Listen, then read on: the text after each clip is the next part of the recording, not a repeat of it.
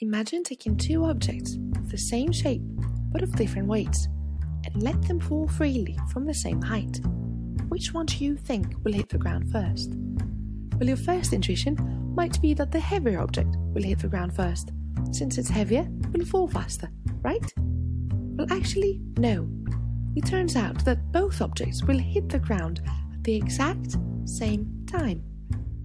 This was proven for the first time by a physicist called Galileo Galilei.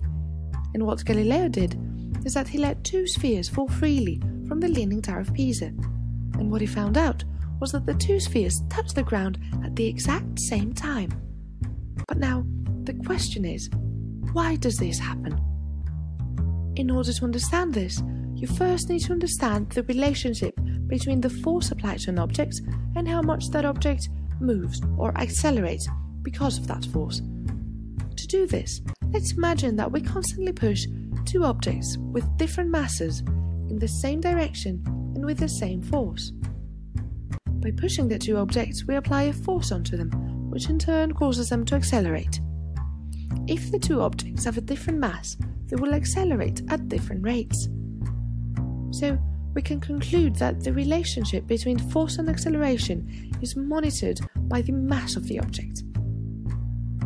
This relationship can be expressed mathematically by Newton's second law, and it states that the force applied to any object equals to its mass multiplied by its acceleration.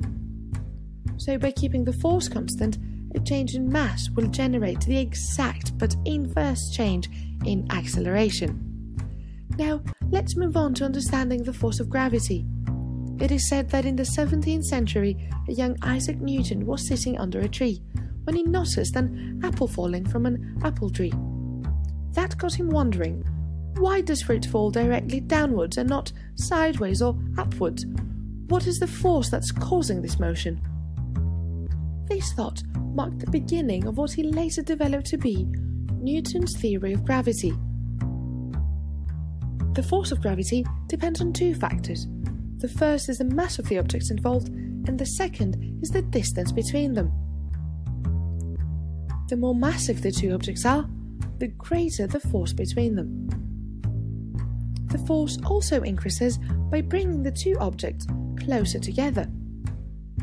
So, by changing the mass of a free falling object, the gravitational force on it also changes by the exact same amount, and according to Newton's law, this leaves the acceleration unchanged. So, to summarize, no matter how massive or how small an object is, if you let it fall freely towards the Earth, even though the gravitational force changes, its acceleration will always remain constant. Thanks for watching, and if you have any questions or any ideas, leave them in the comment section below. Oh, and don't forget to subscribe.